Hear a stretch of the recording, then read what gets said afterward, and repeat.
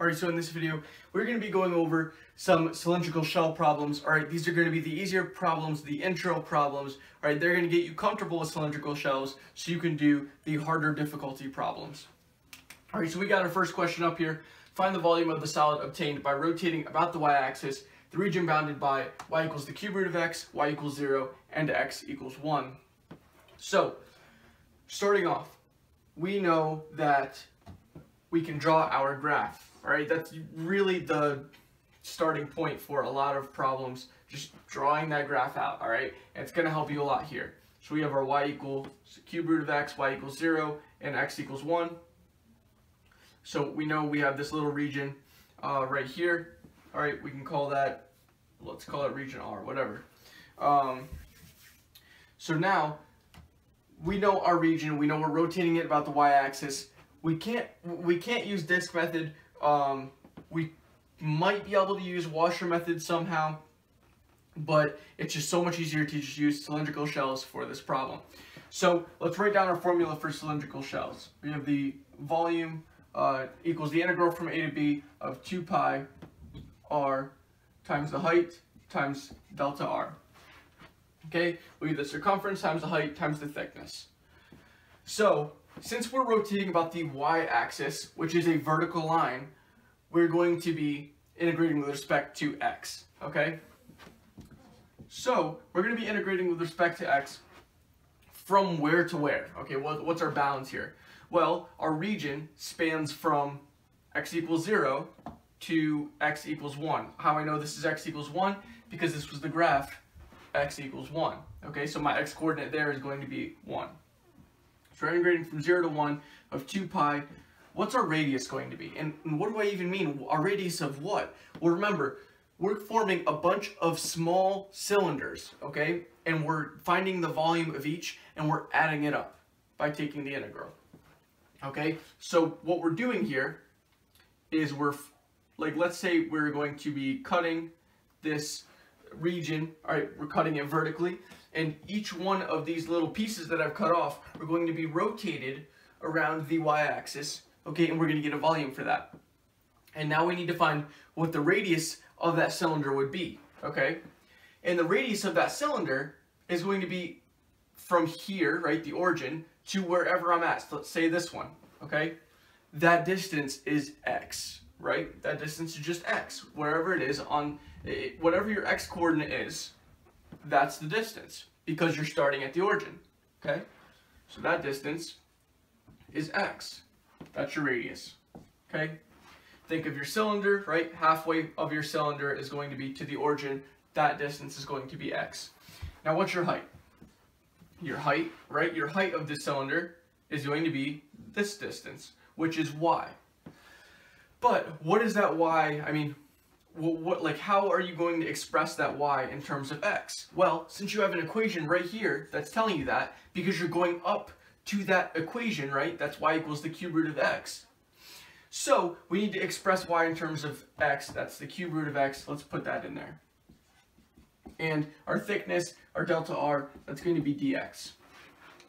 Okay, now, that was the hardest problem. We're just going to uh, integrate and get our answer. So we get 2 pi the integral from 0 to 1 of, we have a x times a x to the 1 third, that's going to be x to the 4 thirds, and we have a dx here. Okay, so now we're going to actually get to integrate 2 pi times, this is going to be x to the 7 thirds, so we bring a 3 sevenths out front. Alright, and that's going to be evaluated from 0 to 1. That 0 term is just going to kill off the, the x, kill off everything in there. Um, and the one term is going to give you a 1 to the 7 thirds, and that'll give you 3 sevenths. But I'll write that out so you can see that volume equals 2 pi times 3 sevenths uh, times 1 to the 7 thirds uh, minus 3 sevenths, 0 to the 7 thirds. Alright, this term goes away. Uh, the 1 basically goes away, and you're left with a volume equals 2 pi times 3 over 7, and that equals uh, 6 pi over 7. All right, so for these cylindrical shell problems, make sure you can just imagine what your cylinder is going to look like, okay? Then it's a lot easier to find your radius and your height, which honestly are probably the hardest part of cylindrical shells. All right, so that does it for the first problem. All right, so now we have our next problem up on the board. Find the volume of the solid obtained by rotating about the x-axis, the region bounded by xy equals 1, x equals 0, y equals 1, and y equals 3. So first, let's just graph what this region is going to be. Then we can figure out how we're going to integrate using cylindrical shells. So I'll draw my graph. Let's draw it a little bit bigger this time so you guys can see. Um, this graph, okay, well, xy equals 1. I don't even know what that looks like. Well, if you just divide by x on both sides, that's y equals 1 over x, right? So this graph, xy equals 1, divide by x on both sides, this is y equals 1 over x. What does y equals 1 over x look like? Well, that's just going to be something like that. That's a graph that you should know. So, we have x equals 0, we have y equals 1, and we have y equals 3. So we get our region here. That's our region R. Okay, and we have to rotate that about the x-axis. Okay, so since we're rotating about the x-axis, okay, we're rotating about a horizontal line, we're going to be integrating with respect to y this time. All right, so let's bust out our equation here. We have the integral from, well, we have volume equals the integral from a to b of 2 pi RH, and this is going to be times dy this time. All right, so we know we have dy there. Might as well already substituted that, that in. So what's our bounds going to be here? We have the integral from a to b. Well, our lower bound is right here, that's 1, and our upper bound is 3. All right, and I know that because our equations was y equals 1 and y equals 3. Great. So now we have that 2 pi, and now we need to find our radius. So our radius, think about what's happening here, okay? We have our cylinders being formed this way, okay? We have these little cylinders and each piece is being rotated about the x-axis.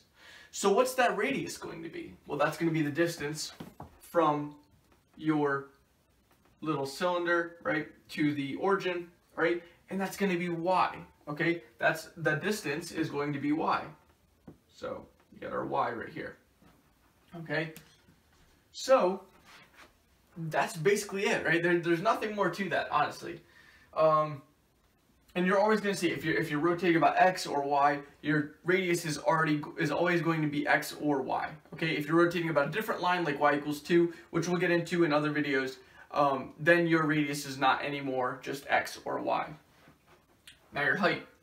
Your height is going to be, since we're integrating with respect to y this time, your, your height is going to be this horizontal distance, right? It's going to be the distance from the axis of revolution to your, um, to your graph, okay?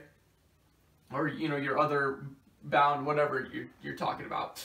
Um, and that height is going to be xy equals 1, but we need that in terms of uh, y, okay? So if we have x, y equals 1 here, we divide by, um, yes, we divide by y on each side.